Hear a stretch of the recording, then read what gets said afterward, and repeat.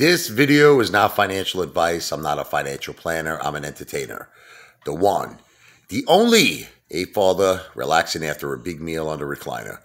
Wow! You know, I get a lot of wise guys, like, you know, these haters. You know, they keep calling me the FOMO father. They keep saying to me, you know, you're down all this money. and they keep saying to me, what I sell if AMC went back up, let's say to 53?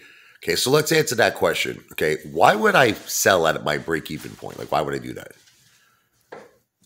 It doesn't make any sense, right? Okay, so obviously the answer to that is no.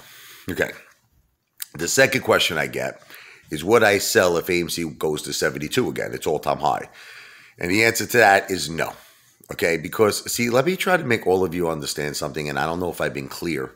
I am in this for the MOAS. That's it. I'm in this for life changing wealth. Do you really think that I am putting myself through all this stress to make a couple of bucks? Like, like, what do you think? You think I'm putting myself through all of this to make whatever? Let's see, what would I make?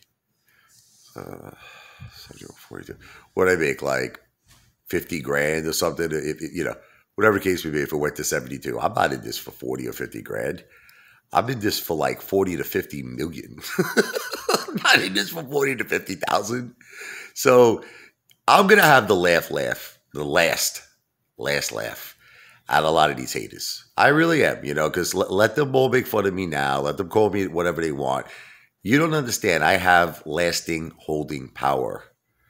I'll keep holding this, baby. And I do add to my position as when I can. Okay. But you know, I have the father has to support his family. Okay. I understand you're like, but you buy so much food, you buy so much food. Because I want to enjoy life. See, you want to know what it is? If I wasn't, there is a method to my madness. Let me explain to you what it is. Because I know a lot of people would say, why not like not buy all that food, right? And keep buying AMC. But if I did that, I probably wouldn't hold. I would tell you the truth because you know what it is? If I was living miserable every day of my life and I was like starving and I was struggling and and I'm looking at my account and it's got like all this money in it, now it's gonna be very hard for me to hold. Because I don't want my children to struggle. I don't want my wife to struggle. I don't want my mother to struggle. I don't want to struggle. I don't even want my dogs to struggle. So part of my lifestyle of eating very well and my family eating very well and us enjoying life is what gives me the power to hold. Because I figure to myself, like, what else do I need?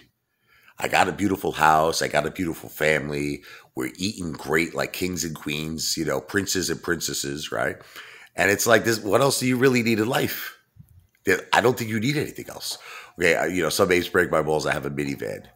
But I'm a family man now. You? I said? I used to have the I had the Mercedes Benz AMG package, baby. The I had the it was it was beautiful the car I had. You had to see when I was single. I had a lot of great cars. I had the Chrysler 300, you know, that was totally like maxed out. I had a lot of great cars in my life. I had the uh, the Tahoe, the LT, maxed out.